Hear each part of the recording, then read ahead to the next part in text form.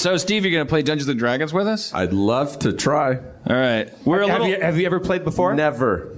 Nor have I until uh, until this campaign.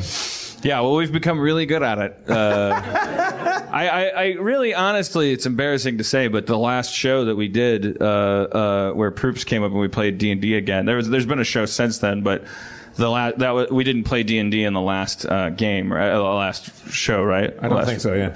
We skipped it because Spencer had uh, he had a a, a, a beard uh, opening to uh, speak at. Uh, so- Congratulations, by the way. it's a huge honor. Thank you, thank you. There's a, so there was a new beard opening uh, uh, across town, and there's uh, he had to uh, cut cut the ribbon uh, with uh, his beard scissors. It's, it's something that it's something that it, it- he he thought he'd be on time because they usually go very fast because as you know the beard scissors are very sharp because they're they're not they're not used for anything but cutting ribbons. Right. They don't cut their beards with them. no, 'cause otherwise you wouldn't have a beard. Is that me? Erin, Erin's calling me.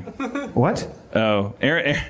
Erin, Erin's calling and texting, uh, wondering if her character's going to be in this game of Dungeons and Dragons. Wow. From the sec, she called you from the second row. Yeah, I put it on be on vibrator. Yeah, uh, that's if, that's an argument for turning your phone off during a show. Uh, that's Uh, but then how would we have known that Erin wanted to be on stage? uh, yeah. It's, What are we supposed to just guess that? Yeah, you, you, you could knock me over with a feather right now.